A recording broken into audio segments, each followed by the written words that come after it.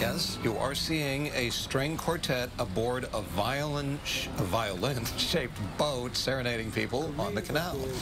Built as a tribute to COVID victims and to symbolize the rebirth of Venice after long lockdowns. The musicians performed works by Vivaldi on the boat named the Violin of Noah.